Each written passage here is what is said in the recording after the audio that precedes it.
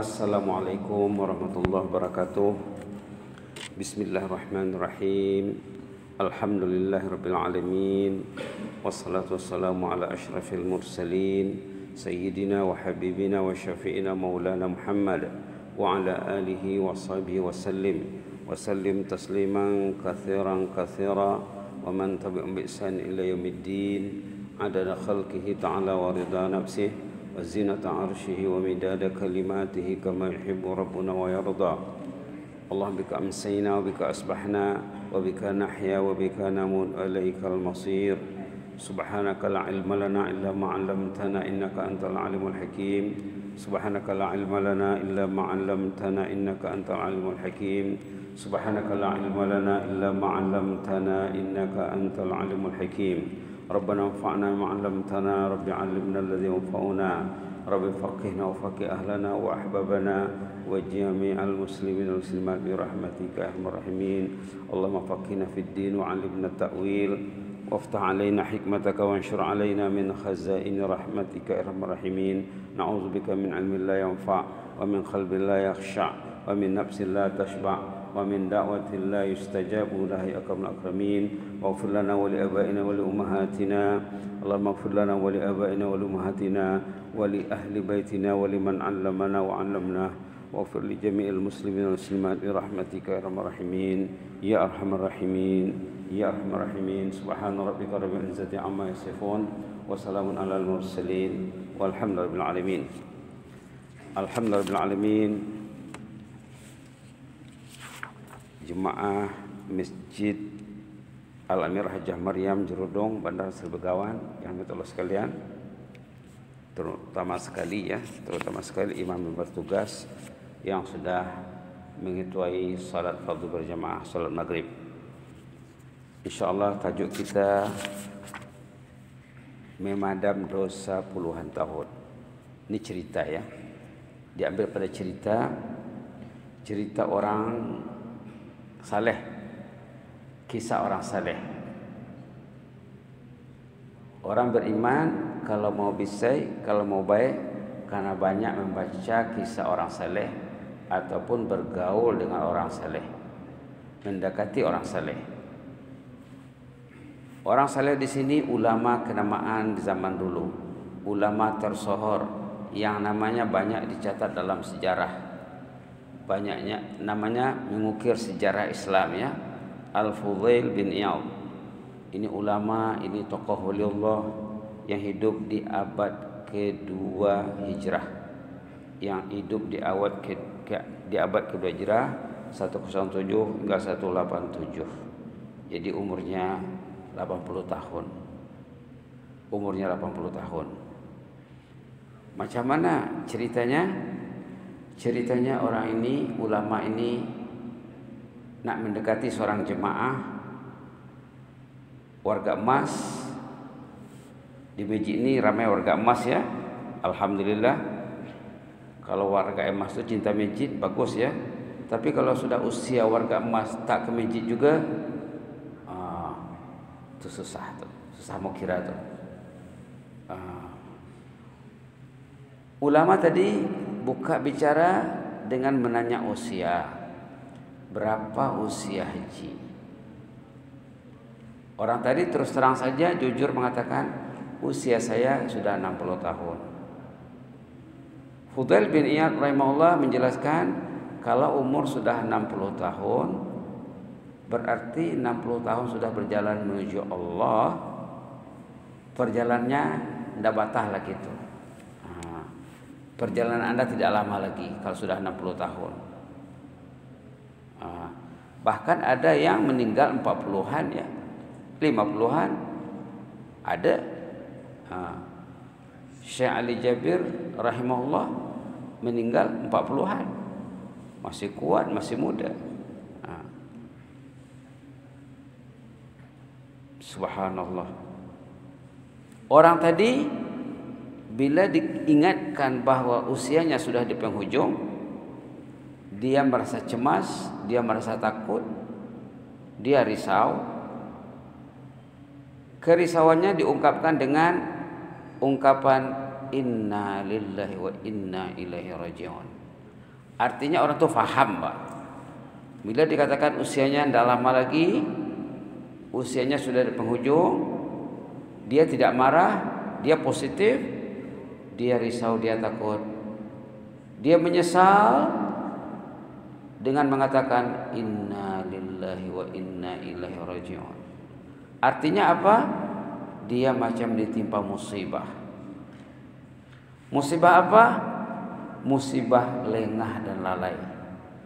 Musibah yang menimpa mungkin 80% umat Islam lengah dan lalai.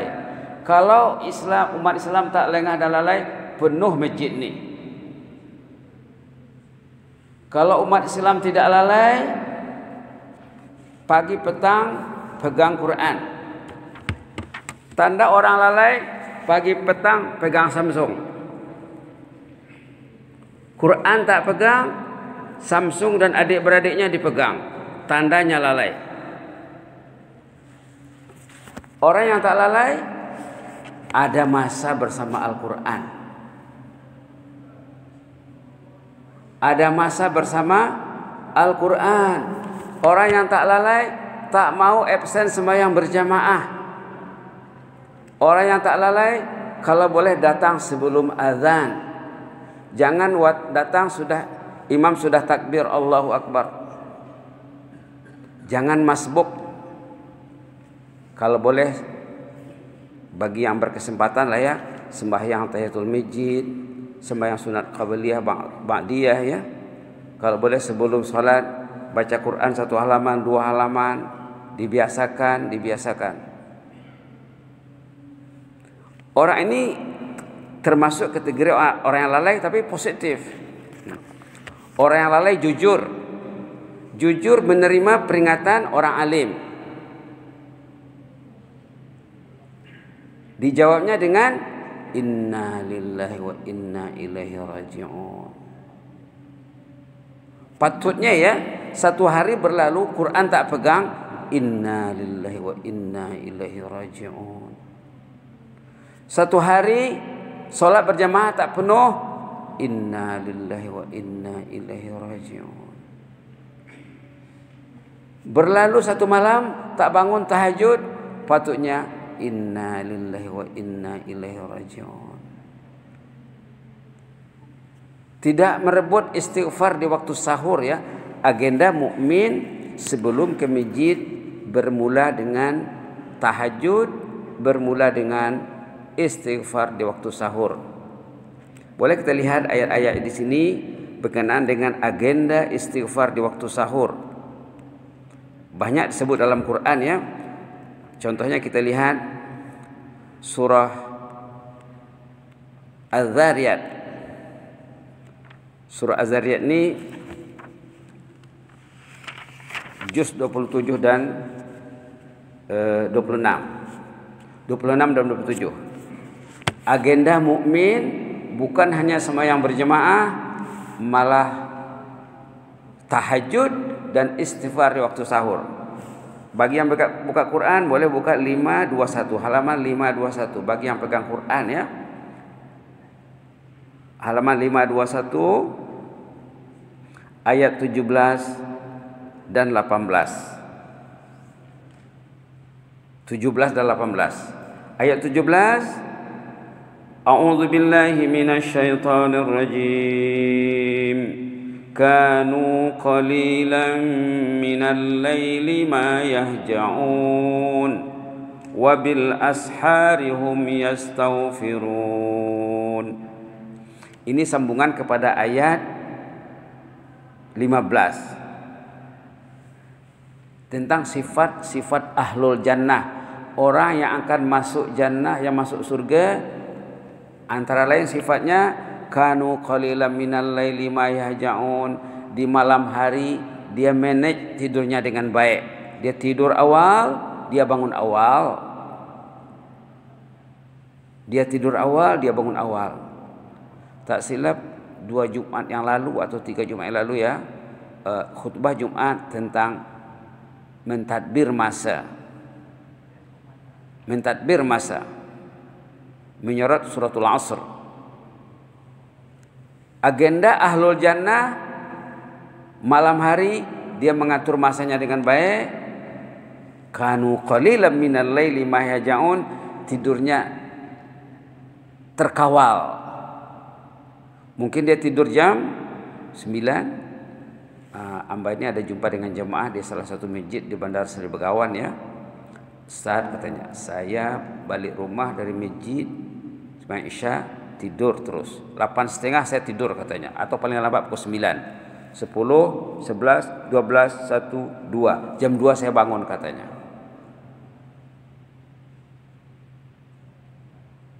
Lima jam dah cukup katanya. Dia tidur jam kata jam 9 ya. 10, 11, 12, 1, 2. Jam 2 dah 5 jam tidur. Dah cukup katanya. Orang yang memanage tidurnya dengan baik Allah akan tolong dia. Allah akan kerahkan malaikat. Nah, kami dekat Salihin, Masjid Salihin sudah 10 siri membincangkan uh, bahwa orang beriman itu disaput oleh malaikat. Kuliah subuh di Salihin ya, sudah 10 siri tentang nafsu. Nafsu yang disaput oleh malaikat, yang ditolong oleh Allah. Subhanallah. Kanu qalilan minal laili ma yahja'un Orang itu tidurnya terkawal, tidak banyak tidur. Ada hadnya, 5 jam sudah cukup. Oke lah dia tidur 6 jam. Start pukul 9, 10, 11, 12, 1, 2, 3. Jam 3 bangun. 6 jam dah cukup. Jangan balik dari masjid mendilit solat dengan musuh Al-Quran. Balik dari masjid, usai solat tadi dengan Al-Quran. Solat kita itu banyak kelemahan. Perlu diusai dengan Al-Quran. Dulu ya, ada jemaah di sini, di Jerudong, Pak. Mungkin tahun 2019. Lepas Isya, jemaah tadi baca Quran. Ya hamba agaba, aji. Bahapa kita baca Quran. Dia tak marah ya. Assalamualaikum wabarakatuh. Untuk apa haji baca Quran? Dia cakap terus terang. Memang tadi saya sudah sholat berjamaah. Saya tidak pasti saya sholat saya itu ada nilai tak di sisi Allah. Ada nilai tak sholat saya tadi? Kalau nilainya kurang, perlu saya top up dengan Al-Quran. Dia cakap. Orang yang tak tahu nilai sholat, balik rumah, dirusaknya sholatnya. Habis solat tadi. Habis. Solat hari ini habis. Hari-hari habis solatnya. Langis. Besok buat lagi. Delete lagi. Rusak lagi. Solat memerlukan Al-Quran. Solat memerlukan Al-Quran. Kalau kita baca ayat-ayat Quran tentang solat, tentang Al-Quran, banyak ceritanya. Kalau kita baca ayat Quran tentang solat dalam dalam Quran ya, Salat itu memerlukan Al-Quran. Kalau baca Quran dalam salat, pilihlah ayat yang menggugah, mengusik. Baca ayat itu bukan setakat baca begitu saja, karena pilih. Kita terasa, jemaah pun terasa. Hmm. Subhanallah. Jadi ayat ini mengatakan apa? Kanu qalilan minal laili ma yahja'un ahlul jannah itu tidurnya terkawal, tidak banyak tidur, kelil, sedikit. Berapa jam? Empat jam cukup, lima jam cukup. Okeylah enam jam. Tapi jangan enam jam start pukul dua belas. Ada saya tanya student di university, lai, kau berapa jam tidur semalam? Enam jam. Bangun eh, start tidur pukul berapa? Dua belas. Bangun pukul enam. Oh, La haula wa la quwata illa billah. Sembahyang subuhmu di mana? Tahajudmu di mana? Tidak dapat jawab. Tidak dapat jawab. Lai, kau sekarang penuntut di universiti, kau kena tahajud, kau kena pergi sembahyang subuh berjamaah ke masjid. Kalau ayah tak pergi, ajak ayah ke masjid. Itu tugasmu. Kau penuntut universiti Islam. Hmm. Kanu qalilan minal laili ma yahjaun ayat 17, ayat 18 wabil ashari hum yastaghfirun. Ada agenda beristighfar sebelum ke masjid. Mungkin 15 menit sebelum ke masjid dia beristighfar atau 10 menit dia beristighfar. Ini istighfar sahur namanya. Adakah dalam agenda kita? Tak ada. Ini agendanya dalam Quran sebut. Ahlul jannah itu ada agenda istighfar di rumah. Kalau dia pergi masjid dalam perjalanan ke masjid pun dia beristighfar sepanjang perjalanan. Kanu qalilan minal laili ma yahjaun. Tidurnya terkawal hanya sedikit saja di malam hari wabil asharihum yastaghfirun. Di waktu sahur mereka beristighfar. Nah, dalam bab istighfar ini pernah sahabat menanya Rasulullah SAW kaifa nastaghfiru ya Rasulullah? Ya Rasulullah macam mana bisanya beristighfar? Kata sahabat Rasulullah mengajar istighfar yang ada di belakang nih ya. Yang ada di belakang ini istighfar yang diajar Rasulullah kepada sahabat bah kalau kamu ingin beristighfar baca Allah maghfir lana warhamna wa tub alaina innaka antat tawwabur rahim. Ini yang disyorkan yang digalakkan oleh Rasulullah SAW memperbanyaknya. Istighfarnya juga ada. Sayyidul istighfar juga ada, juga ada. Allahumma anta rabbi la ilaha illa anta khalaqtani wa ana 'abdu wa ana wa ana 'ala ahdika wa 'adika mastata'tu a'udzubika min syarri ma sana'tu abu laka bi ni'matika 'alayya wa abu bi dzambi faghfir li fa innahu la yaghfiru dzunuba illa Tapi takut tak hafal. Ah, bacalah ini Allahumma ghfir lana warhamna wa tub alaina innaka antat tawwabur rahim.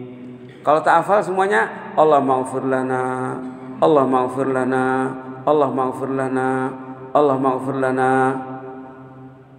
Kalau itu pun tak hafal tak tahu lah gitu. Allah maghfir lana tidak hafal perlu dirawat tuh orangnya Perlu ICU tu. Tak sebut Allah maafir lana, tak boleh sebut. Ah, perlu rawatan intensif tu. Ayat kita baca Allah maafir lana warhamna wa tub alaina innaka antat tawwabur rahim. Allah maafir lana warhamna wa tub alaina innaka antat tawwabur rahim. Pernah jemaah saya tanya, Aji, kita kalau beristighfar macam mana? Astagfirullahaladzim. Bagus juga, tapi untuk dia seorang saja. Istri tak ampit, mak bapak tak dapat, anak cucu tersekat. Kalau ini dapat semua kalau diniatkan. Suami beristighfar untuk istrinya, untuk anak cucunya, untuk mak bapak, untuk mertua, datuk nenek, untuk menantu, peradian, masyarakat, rakyat ke bawah duli kita niatkan Allah maghfir lana warhamna wa tub alaina innaka antat tawwabur rahim. Untuk umat Islam semuanya kita istighfarkan semua umat Islam yang masih hidup, yang sudah meninggal. Allah maghfir lana warhamna wa tub alaina innaka antat tawwabur rahim. Dia cover tu. Tapi karena diniatkan itu maka Rasulullah bila ditanya oleh sahabat, "Kaifa nastaghfiru ya Rasulullah?" Macam mana bisanya beristighfar ya Rasulullah kata sahabat kata baginda kulu sebutlah Allah maghfir lana warhamna wa tub alaina innaka antat tawwabur rahim boleh dibaca masa sujud. Bukan boleh lagi baik bisa dibaca masa, dibaca masa sujud. Niatkan untuk diri istri anak cucu kaum keluarga dan siapa saja. Guru-guru yang masih hidup yang sudah meninggal. Allah maghfir lana warhamna wa tub alaina innaka antat tawwab. Kalau astagfirullahalazim, astagfirullah. Ya Allah, saya minta ampun, saya minta maaf. Saya saja. Istri tidak ikut. Kalau istri beristighfar, suami tidak ampit. Kalau ini dapat semuanya menyeluruh. Allah maghfir lana, beri kami keampunan dosa. Warhamna, rahmati kami ya Allah. Wa tub alaina, terima taubat kami ya Allah. Ada tiga ya. Kalau astagfirullahaladzim satu saja. Bolehlah. Kalau untuk dia, dia sendiri astagfirullahaladzim. Tapi Rasulullah tak cakap macam tu. Nah, kalau dia cakap Allah maghfirlana warhamna mengamalkan hadis baginda Rasulullah SAW nilainya tentu ada nilai tersendiri. Ada nilai tersendiri. Baiklah ya. Yang jelasnya orang tadi bila diingatkan bahwa usianya sudah di ujung, usia sudah senja, mentari sudah hampir terbenam, dia cemas, dia takut. Lalu dia beristirja. Inna lillahi wa inna ilaihi raji'un namanya istirja. Orang kita ramai, ramai yang sebut innalillah waktu orang meninggal saja. Kalau dia absen semua berjamaah dia tak istirja. Patutnya penting lagi beristirja waktu anda absen sholat berjamaah. Itu musibah yang besar. Subhanallah. Kata Imam Ghazali ya. Kata Imam Ghazali mazhab syafi'i itu dalam Ihya Ulumuddin boleh semak ya. Kata Imam Ghazali dalam kitab Ihya Ulumuddin kalau orang itu pergi sembahyang berjamaah dia terlambat sedikit imam sudah baca Fatihah dia baru nak takbir, terlambat sedikit, tidak sampai setengah menit, mungkin 20 second saja, sepertiga menit. Terlambat orang tu sepertiga menit, 20 second. Imam dah baca Fatihah baru dia Allahu Akbar. Kata Imam Ghazali, musibah yang menimpanya, kerugian yang menimpanya, kalau diukur dengan uang dunia ini, dikumpulkan semua uang seluruh dunia, tidak dapat cover musibah tadi.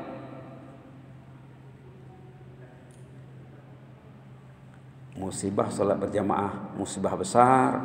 Orang dulu zaman awal Islam bila ada member yang tidak datang ke masjid mereka pergi bertakziah ke rumahnya. Haji rugilah Haji tadi berapa ruginya Haji itu Subhanallah ada cerita cerita jemaah yang unik lagi ya cerita jemaah yang unik dia pasal tidak tahajud dia sembahyang berjemaah penuh, full. Tapi malam tu dia tak tahajud. Pagi-pagi dia menangis berhabis, nangis, nangis, nangis, nangis. Lepas itu ada sahabat datang ke rumah melawat. Tuan rumah menangis. Haji, kenapa kan kita menangis? Adakah Haji baru mendengar berita ada keluarga yang meninggal? buah hati belahan jiwa? Orang yang disayang? Enggak semua sehat walafiat. Kenapa haji menangis? Adakah haji sakit? Orang lain tidak tahu. Penderitaan yang haji alami. Saya sehat walafiat. Kenapa haji menangis tadi malam saya tidak tahajud saya kena murka saya kena marah saya tersekat dari rahmat Allah Allah marah sama saya. Yang tak tahajud tu Allah marah sama dia. Yang tak ke masjid tu Allah murka sama orang tu. Rumah Allah dipanggil dengan panggilan ilahi, tiada panggilan setanding panggilan ilahi tidak dipenuhi. Bukan pasal orang tu tak mau pergi masjid, para orang tu tersekat. Bila kita menjawab azan ya, Allah Akbar, Allah Akbar dijawab dengan Allah Akbar, Allah Akbar. Asyhadu illallah sama juga jawabannya. Asyhadu anna Rasulullah sama jawabannya. Bila hayya 'alas salah, mari salat. Apa jawabannya? La haula wala quwata illa billah. Kalau Allah lagau dia dia akan datang. Kalau Allah tak lagau dia tak akan datang. Itu maksudnya. La haula wala quwata illa billah. Kalau Allah kasih dia power, ini ada yang datang dari Tutong ke sini malam nih. Ada yang datang dari mata-mata mendengar ceramah di sini. Allah kau dia datang ke Jerudong datang dia. Kenapa dijawab dengan la haula wala quwata illa billah? Hayya 'alas salah, la haula wala quwata illa billah. Hayya 'alal falah, la haula wala quwata illa billah. Artinya orang yang diizin Allah datang, yang tak diizin tersekat. Jadi orang yang sedang dilawat tadi dia menangis. Kenapa anda menangis? Saya tersekat dari tahajud tadi malam. Allah marah sama saya. Allah murka sama saya. Tentu ada silapnya saya itu. Kalau saya tak ada silap, tentu Allah tidak sekat saya dari rahmatnya. Jadi saya menangisi kesilapan saya, menebus kesilapan saya dengan genangan air mata. Mudah-mudahan besok tidak kena sekat lagi. Hmm, subhanallah. Subhanallah. Jadi innalillah orang ini ya mahal nilainya. Bila dia diingatkan tentang kelalaiannya dia tak marah, dia tak sasak, dia berterima kasih, malah dia menyebut innalillahi wa inna ilaihi rajiun. Kalau di budaya Melayu sama ada di Brunei, di Malaysia, di Indonesia, innalillah itu untuk orang meninggal saja. Nah, itu penggunaannya satu per sejuta mungkin. Bukan satu per seratus. Mungkin satu per sejuta. Sepatutnya innalillahi untuk apa? Tak tahajud innalillah. Tak membaca Quran innalillah wa inna rajiun. Balik rumah tengok istri buat apa? Istri pegang Quran kah? Istri pegang tasbih kah? Atau apa? Samsung. Apa dipegang istri? Kalau dipegang Quran, Alhamdulillah. Pegang tasbih, Alhamdulillah. Kalau duduk di atas sejadah, Alhamdulillah. Naik tempat tidur, bawa oppo juga kah? La haula wa la quwata illa billah. La Bila tidur, mobilnya di, di bawah bantal kah di mana? Di sering katil kah? La haula wala illa billah. Dua jam sebelum tidur telepon off, buka Quran. Berudhu. Sebelum tidur berudhu supaya dapat doa malaikat. Orang yang berkaut sebelum tidur, malaikat mendoakan, Ya Allah ampunlah haji ini. Ya Allah ampunlah hajah ini. Tadi berkaut sebelum tidur. Kalau Samsung sebelum tidur, ah, dia dilahirkan oleh musuh malaikat. Dilahirkan oleh musuh musuh Muhammad musuh Allah. Iblis laknatullah. Orang yang tak berzikir sebelum tidur dia tidur akan pikirannya akan galau. Kacau. Walaupun dia bangun tahajud takkan ceria tahajudnya pergi pukul 9 subuh rendah nilai sembahyang subuhnya di masjid. Orang akan tinggi nilai ibadahnya sebelum tidur dia baca Quran, bersolat, berzikir, tidur berudu, dia tahajud, dia beristighfar waktu sahur, itu akan dinilai dengan nilai yang istimewa ya. Subhanallah. Subhanallah. Baik. Bila ditanya oleh Fudail, orang tadi menjawab inna lillahi wa inna ilaihi rajiun. Fudail bertanya, Aji, bisa pulang kita sebut tadi innalillah. Waktu amba bertanya, sudah berapa usia? 60 tahun. Berarti pintu kubur sudah dekat tuh. Dia cakap, inna lillahi wa inna ilaihi rajiun. Saya lupa pintu kubur sudah dekat. Terima kasihlah diingatkan saya. Yang bertanya tadi Fudal bin Iyad rahimahullah bertanya lagi. Aji tahu tak maksud inna lillahi wa inna ilaihi rajiun itu? Orang tuh kalau dia faham innalillah wa inna ilaihi selamat hidupnya, dia akan ringan langkahnya ke masjid. Kalau orang tuh faham innalillahi wa inna ilaihi rajiun, masjid penuh. Jangankan innalillah ya, bismillahirrahmanirrahim saja yang pendek. Kalau orang tuh faham basmalah, mesti dia tak mau absen sembahyang berjamaah. Dengan nama Allah Maha Rahman, Maha Rahim, Rahman, Rahim, Rahmat. Rahmat tu di masjid. Bila kita masuk masjid baca doa, Allah maghfir li dzunubi waftah li abwaaba rahmatik. Rahmat tu di masjid. Di rumah ada rahmat kalau tahajud, kalau Al-Qur'an. Kalau Samsung dan Oppo di rumah malaikat kasihan tengok ahli ahlul bait itu. Apalah orang ini katanya. Satu orang tak ada pegang Quran. Satu orang tak ada yang tahajud. Subhanallah. Subhanallah. Subhanallah. Jadi ditanya oleh Fudail, Aji faham ke inna lillahi wa inna ilaihi rajiun itu apa? Ah, orang tadi dia macam tak ada idea atau ada ide tapi tidak tak dapat nak cakap macam mana. Lalu ditolong oleh Fudail. Maksudnya Aji innalillah. Tu tengok di sini ya. Ha. Bahawa orang itu milik Allah. Orang itu akan kembali kepada Allah satu saat nanti. Dan bila kembali kepada Allah nanti di hari kemudian ada mahkamah akan ditanya. Tanya, rumah berapa biaya membangun rumah? Landscape berapa biayanya? Kemudahan-kemudahan di rumah berapa biayanya? Rumah yang demikian megah, demikian hebat, apa buat di dalam? Itu akan ditanya. Kereta berapa di rumah? 10, 15. Ada yang parking di masjid waktu subuh tak? Akan ditanya. Itu maksud innalillahi wa inna ilaihi raji'un tu. Itu maksudnya. Kata Fudail, ada di sana mahkamah di sana akan ditanya Anda tentang nikmat. Tadi pagi disorot dalam kuliah subuh di Solihin.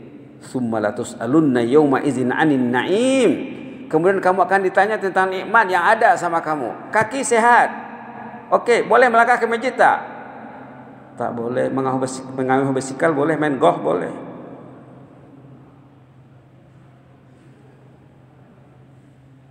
Ada jemaah dekat Solihin. Syukurlah Ustaz katanya. Dulu saya hari-hari main golf. Setelah mendengar pengajian Ustaz, saya tak pergi padang golf dah katanya. Jemaah jumpa saya. Syukurlah Ustaz katanya. Dulu duit habis, masa habis, pikiran pun galau katanya. Dia jumpa terus terang. Itu maksud innalillah wa inna ilaihi rajiun. Kita ini milik Allah dan kita akan kembali kepada Allah. Saat kita kembali akan ditanya. dalam khutbah Jumat dua atau khutbah dua dua atau dua atau tiga minggu yang lalu mungkin dua minggu yang lalu tentang usia katanya tidak berganjak kaki anak Adam nanti di hadapan Allah Allah akan tanya tentang usianya tentang usinnya tentang ilmunya tentang masa muda juga ada kan ditanya nanti Haji berapa umur 60 70 apa yang dibuat 60-70 tahun itu? Akan dijawab nanti. Rujuk khutbah Jumat semula. Rujuk khutbah Jumat. Tanya imam. Mana khutbah Jumat tentang nilai masa itu?